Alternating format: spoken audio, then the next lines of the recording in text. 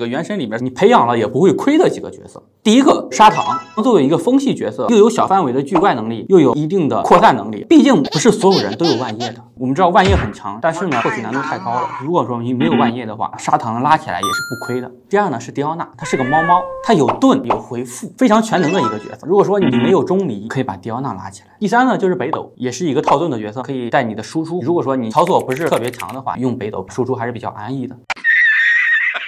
如果说你没有一个五星的主 C，你想练一个四星的主 C，那我最优先推荐的是烟飞。四星火 C 里边，它的输出量是最高的。其次的话，凝光、雷泽也是可以的。有句话叫做“手残又怕死”，建议练女仆。女仆的推荐度跟凝光和雷泽是差不多的，但是它的输出环境会相对好一点。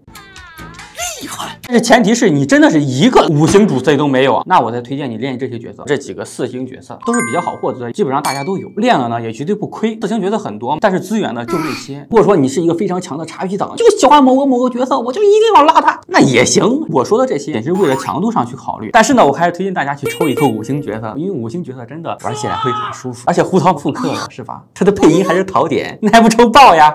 你这是馋他的身子，你下贱！